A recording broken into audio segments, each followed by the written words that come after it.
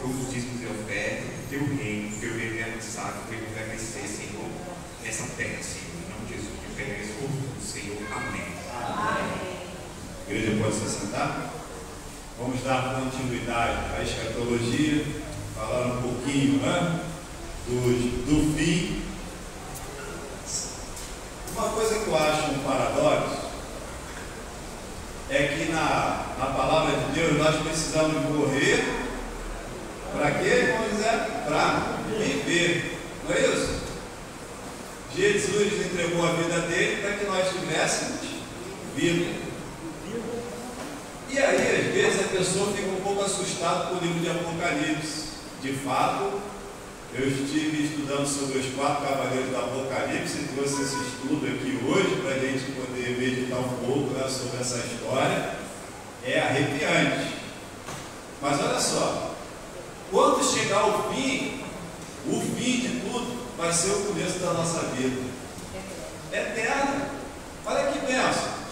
Vai chegar o fim mas para aqueles que tiveram as suas vestes lavadas né, no sangue do Cordeiro, vocês terão novos nomes, vocês terão novos, novas vestes, um novo corpo, e olha só que legal, não vai ter tendinite não, viu? Não vai ter tendinite, não vai ter bursite, não vai ter torcicolo, e dor de coluna, nem pensar, irmão Margarete. Ai, que Deus! Então, o fim, de joelho nem pensar. Jesus Cristo vai enxugar todas as lágrimas. Olha que promessa que tem. Então, as pessoas ficam preocupadas com o livro de Apocalipse. Eu não me preocupo com o livro de Apocalipse. Eu não me preocupo com o fim das coisas, porque será o início de tudo, de uma nova vida. Onde nós iremos adorar a Deus eternamente, sem limite, bursite, é, sem escoliose, sem artrose, é, sem dor de, dor de cabeça. Então, já pensou aquela dor de cabeça? Nunca mais dor de cabeça. Ninguém vai cair da escada se quebrar doido. Acabou esse negócio. Acabou. E eu fico ansioso e sempre repito: Maranata, ora vem, Senhor Jesus. Vai ser benção, apesar das pessoas ficarem um pouco assustados. Olha quanta coisa boa que vai acontecer quando vier um fim. Vai ser tudo novinho em folha, novos céus, novas terras e uma nova vida de adoração e uma adoração pura, eternamente adorando ao Rei do Rei. Já pensou como foi bom para os apóstolos caminhar lado a lado com Jesus? Jesus aconselhando, Jesus curando, Jesus libertando, Jesus instruindo, corrigindo, puxando a orelhinha, né, que em quando Jesus dava um puxão de orelha. E aí Pedro, né, numa, num, nos discursos calorosos de Jesus Cristo, Jesus Cristo falou, quem quiser ir embora pode ir, se vocês quiserem ir embora, pode ir. Aí Pedro fala o quê? Para onde iríamos nós se só o Senhor tem a palavra isso, de vida e de vida eterna, só em Cristo. E aí a gente não vai mais receber puxãozinho de orelha, porque nós seremos transformados e de fato ali no céu não haverá pecado, não haverá dor, não haverá choro. Agora, o livro de Apocalipse é perigoso para quem não aceitar Jesus. Como diz naquele livro, né? É, o peregrino, o peregrino ele sempre falava, fuja da ira que virá. Deus é bom. O tempo todo Deus é bom. Eternamente Deus será bom. Mas para aqueles que o aceitaram e o serviram e foram submissos aqui a Ele e à vontade dele. E é por isso que a gente vai começar falando sobre o período da grande tribulação. As coisas que vão acontecer, os acontecimentos que se darão no céu, o tribunal de Cristo, mas temos a confiança e desejamos antes deixar este corpo para habitar com o Senhor, pois que muito desejamos também ser desagradáveis, quer presentes, quer ausentes, porque todos devemos comparecer ante o tribunal de Cristo, para que cada um receba, segundo o que tiver feito, por meio do corpo, ou bem ou mal. 2 Coríntios 5, 8 ao 10. Olha, se havia um desejo daquele povo lá, né, e o apóstolo Paulo dizia que eles estavam ansiosos para deixar essa terra e deixar, sabe o quê? Esse corpo. Pensa num corpo cansado, né? Um corpo que dói, um corpo que machuca, um corpo, um corpo que é complicado. Basta você dar uma topadinha, uma pedrinha na rua, na unha. Aí tu fala, glória a Deus na hora. Tu fala, glória a Deus que eu dei uma topadinha. Eu espero que os estejam falando isso, né? Nada ao contrário disso. Mas quando você dá uma topadinha só, o dedinho midinho, midinho, ai que delícia que é aquela pancadinha, né? Que a gente dá assim na quina do móvel, olha. Chega a suar frio na hora, né? Aí você pensa no louvor de adoração, começa a glorificar, aproveitando que já está de pé, né? É mais ou menos assim ou não? Não, né? Eu sei que não é. Mas pense como vai ser bom ter um corpo novo que não vai mais sofrer nada disso. É incrível como a mente e o corpo são ligados, não é isso? Pensa nisso. A mente e o corpo são ligados. Basta uma topadinha dessa que a mente já dá um alerta, a dor. E aí você começa né, a entender que aconteceu um problema. Pecado também é assim na vida do pecador. Remido, não perdido. Quando o pecado entra e bate a porta, o Espírito Santo fala, tu vacilou, tu errou. Eu não sei você, mas quando eu sei que eu errei, eu fico logo, entro logo numa aflição. Fico incomodado. Eu, é igual a topadinha, incomoda muito. No meu coração eu fico aflito, eu errei. E aí eu começo a, Senhor, tem misericórdia desse teu servo pecador. O bem que eu quero fazer eu não faço, mal que eu não queria ter feito, eu fiz. Miserável pecador que sou. É bem dessa forma que o Espírito Santo ele precisa nos alertar quando alguma coisa foge do padrão. As bodas do cordeiro. Agora tá bom, o sol está bonito na chuva, hein? As bodas do cordeiro, vou falar bem aqui pertinho para poder. Está dando para ouvir aí tranquilo? Qualquer coisa chegue mais para frente. Tá? Vamos lá.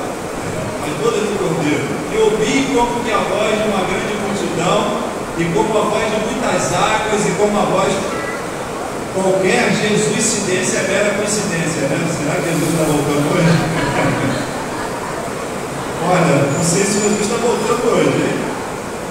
Que a voz de muitas águas e como que a voz de grandes trovões que dizia, aleluia, pois já o Senhor Deus Todo-Poderoso reina, alegremos-nos e demos glória, porque vidas são as bodas do cordeiro, e já a sua esposa se aprontou, e foi-lhe dado que se, é, que se vestisse de linho fino, puro e resplandecente, porque o linho fino são as justiças dos santos, Apocalipse 19, 6 e 8. Viu que coisa boa? Eu não vou me preocupar mais com roupa. Você lembra do povo de Israel que andou 40 anos lá no deserto? por teimosia, né? O negócio podia ser quatro horas, quatro dias, foi para 40 dias. Mas o que, que aconteceu com a roupa daquele povo durante 40 anos? O que, que aconteceu? Só que essa roupa que a gente vai vestir é uma roupa eterna. Vai durar muito mais que 40 anos. É toda a eternidade. Já imaginou uma roupa? E aí vai estar todo mundo igual. Ninguém vai olhar assim, a roupa do fulano é mais bonita que a minha. Não, a roupa de todo mundo vai ser bonita. Olha porque Deus faz tudo perfeito. Vai ser tudo igual. Aqui a palavra diz que o fino são a justiça dos santos. Olha que beleza, hein? A melhor roupa o Senhor vai nos vestir. O melhor corpo, aquele que não dói, o Senhor vai nos presentear. É por isso que eu digo, para que ter medo do livro de Apocalipse? É só coisa boa para quem serve a Deus, é isso, Rogério? Quem serve a Deus está tranquilo. Quem é obediente a Deus está tranquilo. É um novo corpo, uma nova veste, um novo nome. E aí eu fico pensando, Evânia aqui já foi difícil para nós gravar, né? mas lá acho que o nome vai ser muito fácil. E todos vão saber o nome de todos, vai ser muito tranquilo. Adamo, né? Adamo, Evânia, esse nome aí é complicado, mas lá no céu tenho certeza que os nomes serão nomes que glorificarão o nome de Jesus. Olha que lindo. Porque estou zeloso de vós como o zelo, é, com o zelo de Deus, porque vos tenho preparado para vós apresentar como uma virgem pura a um marido, a saber, a Cristo. Mas temo que assim como a serpente enganou, aí eu vou ter que parar um pouquinho aqui, olha. Presta atenção nesse texto, gente. O apóstolo Paulo estava muito preocupado com a igreja de Corinto. Mas temo que assim como a serpente enganou Eva, com a sua astúcia, assim também sejam de alguma sorte corrompidos os vossos sentidos e se apartem da simplicidade que é em Cristo. Olha isso. Nós somos seguidores de quem? Então, o Ricardo é um pequeno Cristo, é isso? Isso. Eu sou um pequeno Cristo. Não é cada altura não, mas nós somos pequenos Cristo. Nós somos como Cristo. Perceberam que o Evangelho é simples e que as pessoas têm que ser simples? Bem-aventurado o quê? Os humildes, porque o quê? O quê? Fala alto aí. Está vendo isso? Bem-aventurados os humildes, porque eles herdarão. E o apóstolo Paulo se preocupava com isso, e com as bem-aventuranças. Ele se preocupava com isso com a igreja de Corinto, para que não entrasse o quê? Soberbo, vaidade. O que, derrubou Satanás do céu? O que, que foi? Pecado de quê? Vaidade. Da mesma forma, ele nos tenta a ser o que? Vaidoso. Prestem atenção nisso. Ele sempre vai querer colocar no nosso coração, sabe o que? Soberba. Eu sou melhor do que Ricardo. Ricardo é melhor do que o pastor Evandro. Fulano é melhor do que Cicrano. Mas isso está repreendido aqui em nome de Jesus. Esse sentimento não pode habitar no nosso coração. Sentimento de vaidade achar que eu canto melhor que a Elisa, nem se eu quisesse. achar por vaidade que alguém é melhor do que alguém. E Satanás nos tenta dessa forma. Já viu que Satanás não, ele não vem com tentação assim sobrenatural, como diz Pedro? Não vai vir nada além daquilo que é o normal, tradicional, vaidade mera vaidade. Ah, eu sou muito importante. E aí eu tenho que lembrar de um pastor, e ele fez essa declaração ao público, né? que foi o pastor Dini Suegas, que tinha um grande ministério, em nome de Deus, né? e ele caiu em pecado, caiu em erro, e quem somos nós para julgá-lo? Somos pecadores igual a ele. Só que ele se corrompeu com o pecado da vaidade. Uma vez ele olhou o estádio cheio de pessoas e falou no coração dele, palavras dele, tá? Inclusive ele falou isso até aqui no Brasil quando veio visitar um programa de televisão aqui. Ele disse o seguinte: É Deus, tu precisa de mim para pegar para esse povão aí todo. Aí foi ali que ele entendeu que o ministério dele caiu a vaidade, ela é jogada no nosso coração através de Satanás. Ele fica soprando. Você é melhor que fulano, você é melhor que ciclano. Ou quando não, ele gosta de fazer com que a gente se sinta muito inferior. Isso também não é bom não, tá? Se sentir inferior não é bom. Deus te fez para ser bênção, vaso de honra. não de desonra na casa de Deus. Não se inferiorize. Não se deprima. Não ache que você não tem a capacidade, porque é o Senhor que te capacita para fazer qualquer coisa, para pregar as nações. Eu me emociono por falar isso, porque eu penso também em outro grande pregador que foi Billy Graham. Billy Graham, ele não foi aceito no primeiro seminário que ele entrou. Falaram que ele servia para qualquer coisa, menos para ser pastor tem noção do nome daquele que fez tantas coisas. Aí o outro seminário aceitou o Billy. A história do Billy para quem não assistiu, assista. Tem no YouTube. São quatro horas, acho, se eu não me engano, de um documentário sobre a história dele. Um homem de oração, de fé e determinação. Ele ia para o meio do pântano da floresta, assim, começava a pregar para as árvores. Aquilo ali já era Deus profetizando que ele ia pregar para o mundo inteiro. E ele pregou no mundo inteiro. Foi o único pregador com humildade que entrou em todos os países do mundo, inclusive aqueles que não poderiam pregar o Evangelho, ele pregou. Deus o capacitou e abriu as portas para que ele anunciasse o Evangelho e ele anunciou.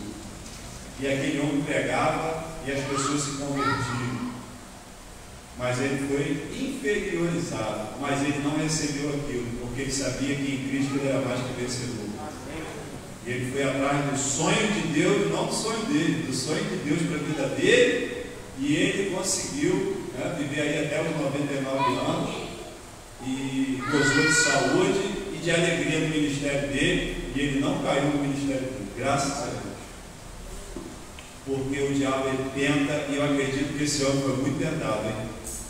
Foi muito tentado, assim como todos nós somos.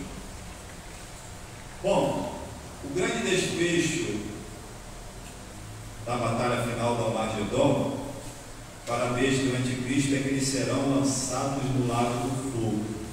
Tu entra numa guerra sabendo que vai perder. Nós não.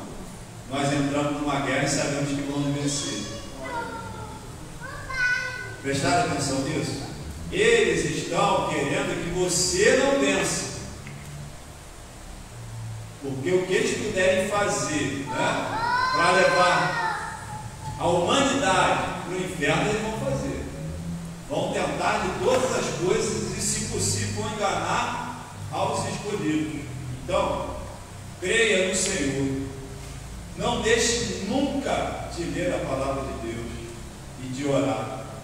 Nunca saia de casa sem ler a palavra de Deus. É por isso que esse ano nós estamos lendo a Bíblia toda e juntos. Estamos lendo juntos, estamos aprendendo juntos, estamos crescendo juntos, como igreja, como corpo de Cristo.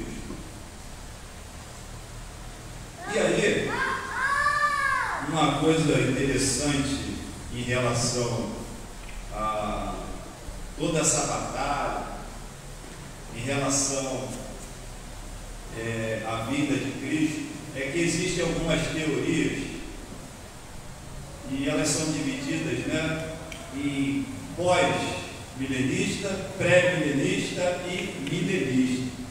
É difícil não passar por aí e explicar um pouquinho sobre isso.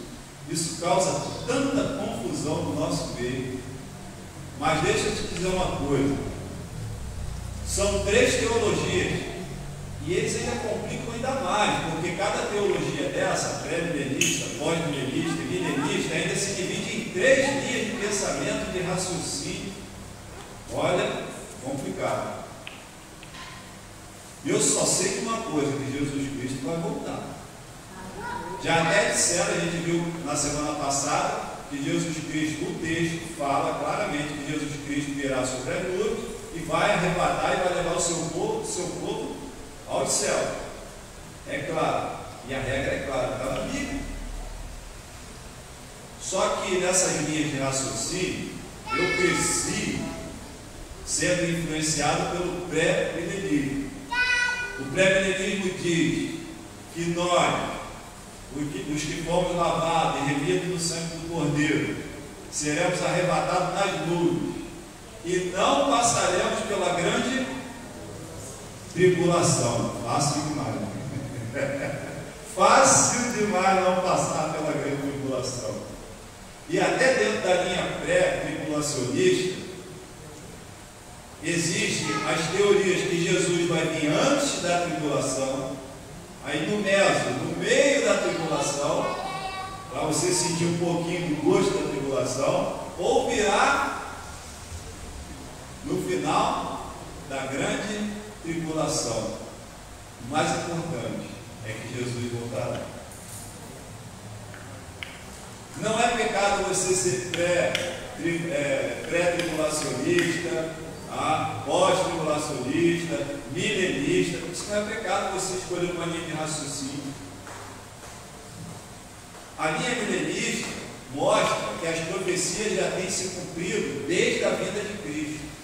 Ou seja, só falta uma profecia para fechar o pacote, a reconstrução do templo e o surgimento do anticristo. Só falta esta profecia aí para que as, as profecias sejam de fato todas cumpridas. Eu estive estudando sobre os cavaleiros do Apocalipse, lá no capítulo 6 né, de Apocalipse. E vou dizer uma coisa para vocês. Esses cavaleiros, quando eu era pequeno, sabe, eu ficava com medo desses cavaleiros. Um, que, um era morte, um vinha de vermelho, vinha o primeiro de branco, aí vinha de vermelho, vinha de amarelo, vinha de preto. Olha, vou falar, esses, esses cavalinhos aí, eu era pequeno, eu ficava assustado com esses cavalos. Mas entendam bem, não há com que se preocupar quem é salvo. Quem é salvo não se preocupe com esses cavalos. Nós passamos aí por um período de pandemia e reaprendemos a viver um pouquinho, né?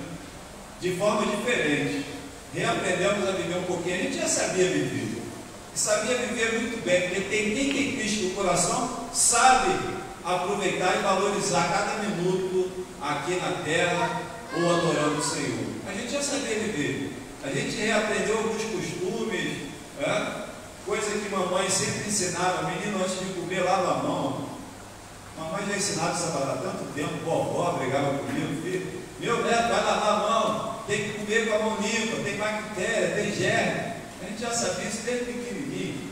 Só que às vezes a gente esquece, né? E aí ficou é, álcool para cá, álcool gel para lá. Né? A gente é, se reinventou em algumas coisas, em algumas áreas.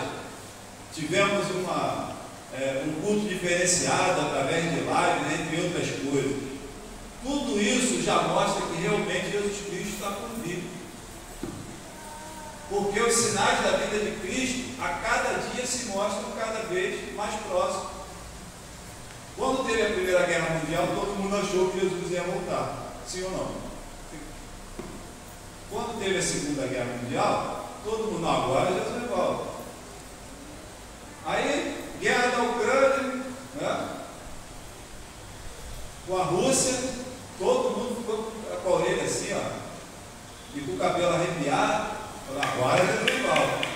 Um dia a hora ninguém sabe. E até quando tiver guerras e rumores de guerra, ainda não é o fim.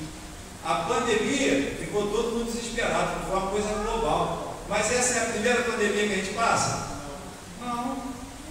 As outras também todo mundo achou que Jesus Cristo iria voltar. E está certo em achar, sabia? Está certo mesmo, porque a gente se consagra mais, se santifica mais, busca mais a Deus às vezes algumas coisas têm que acontecer, coisas ruins, para outras melhorarem. Para a gente ser um cristão melhor, um crente melhor, um pai melhor, uma mãe melhor, um irmão melhor, um filho melhor. Algumas coisas ruins precisam acontecer para que a gente desperte em algumas áreas. Bom, vamos lá. Tem muita gente que fala muita coisa né? no capítulo 6 de Apocalipse, na visão de João, de escrita, ele fala sobre esses quatro cavaleiros. Tem um que tem um livro especial em sua mão, selado com sete selos. Quando ele abre cada selo, uma coisa acontece na terra. Primeiro, dos quatro selos, enviam quatro cavaleiros à terra. Primeiro cavaleiro, cavaleiro que aparece montado em um cavalo branco. Todo mundo lembra logo do príncipe, né? sim ou não? O cavalo branco das meninas sempre foi o sinônimo de quê? do príncipe encantado. É o príncipe, óbvio que é o príncipe. O primeiro cavaleiro aparece montado em um cavalo branco, empunhando um arco.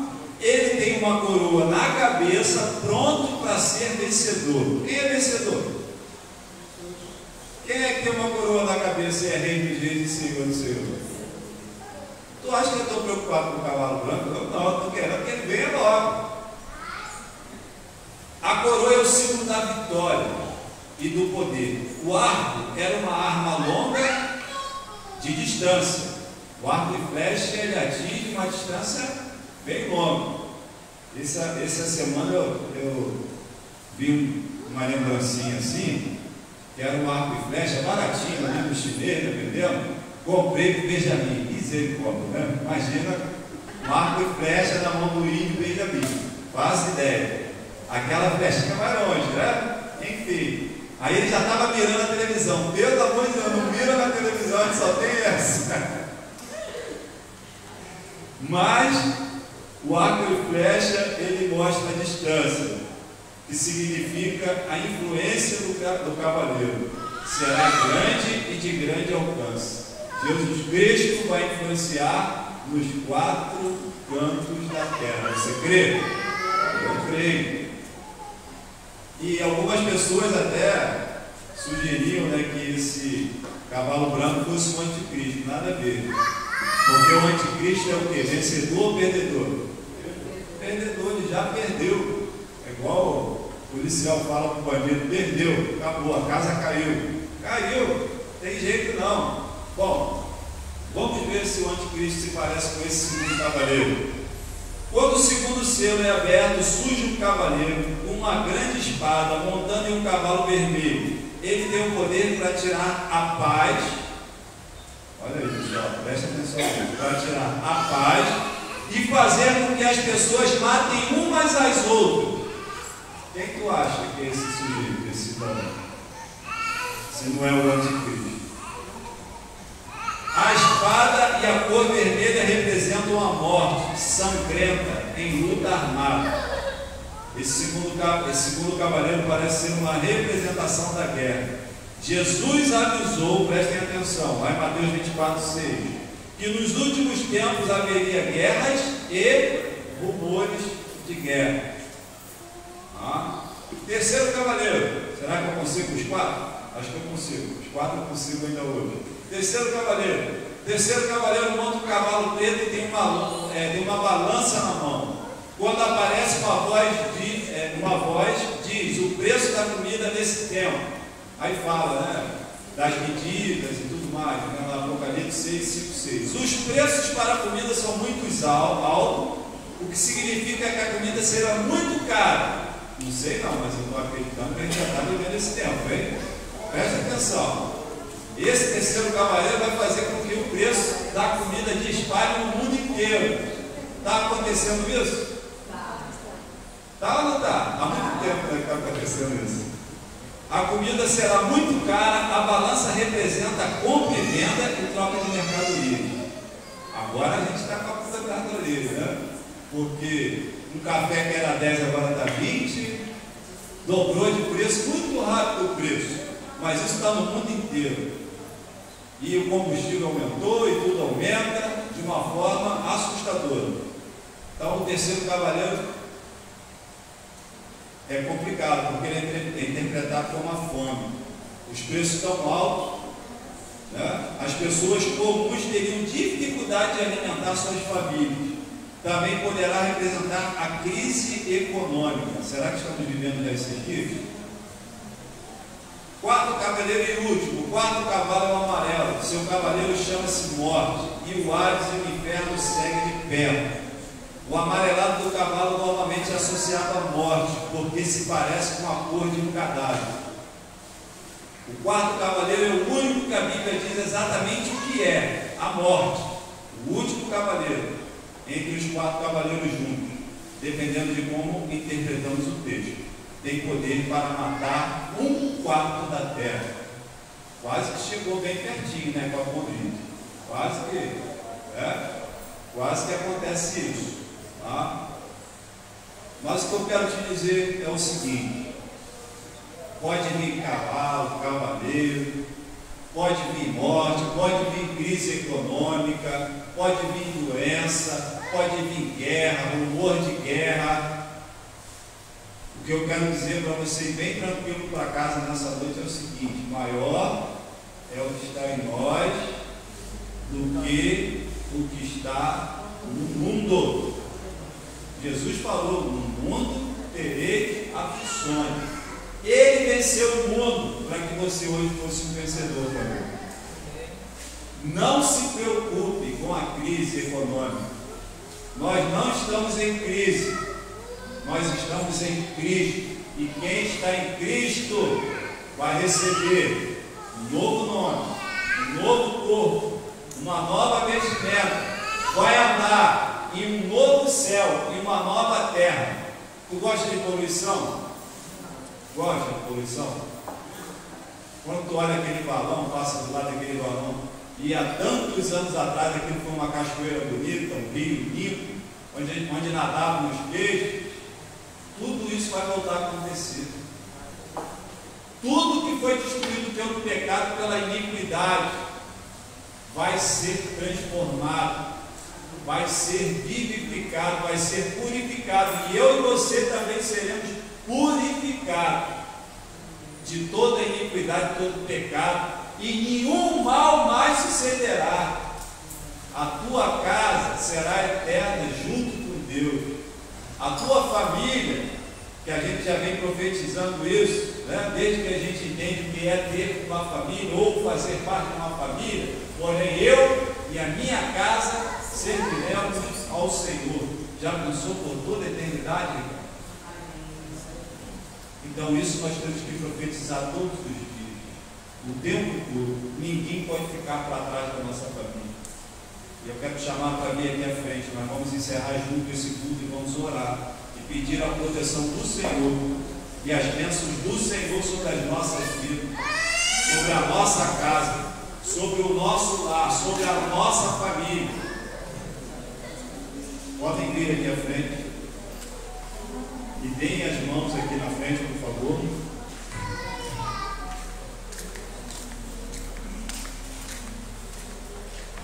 Jesus conquistou a nossa vitória na cruz. Hoje, nós somos mais vencedores em Cristo Jesus. Existe promessa. Não dá para roubar essa não, hein? Isso.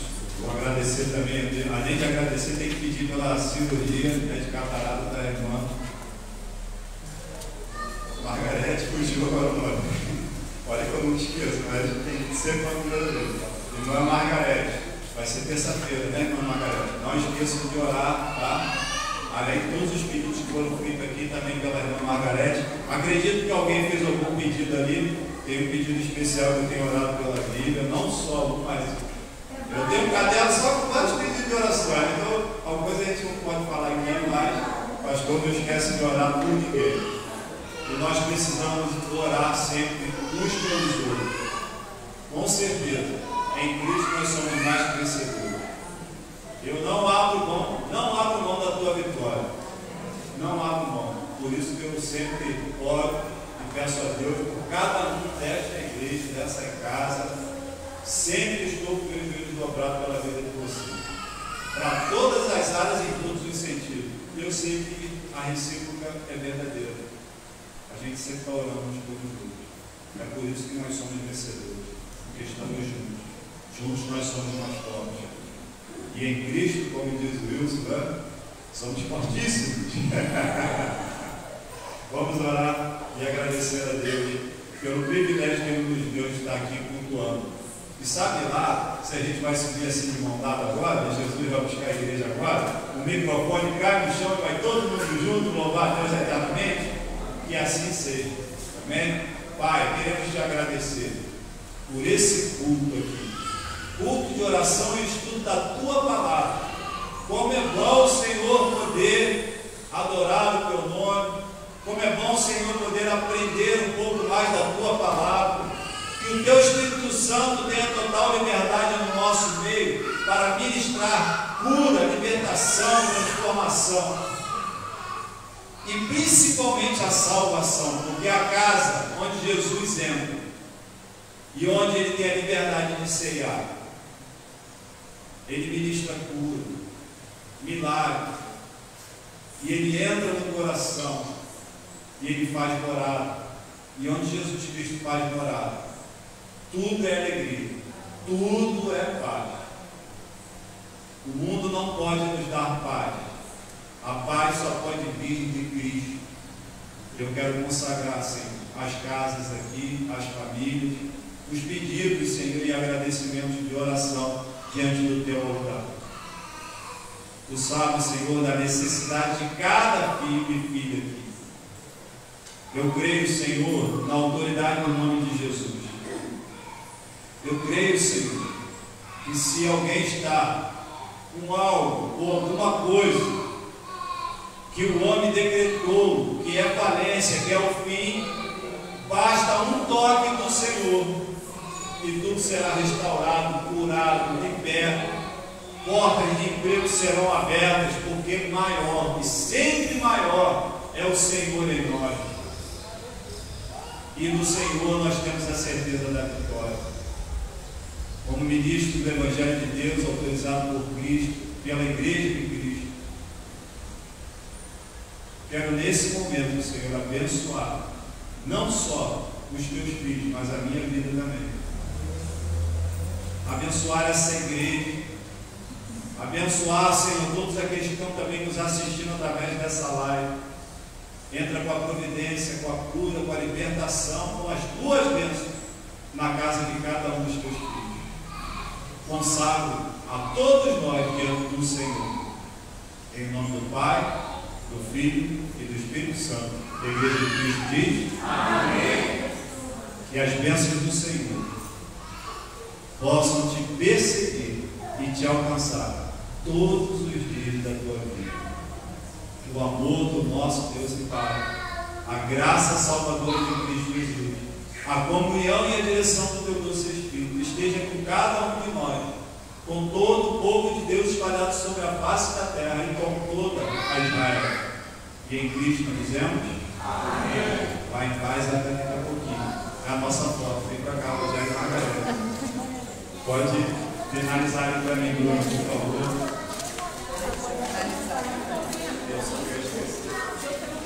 Margaret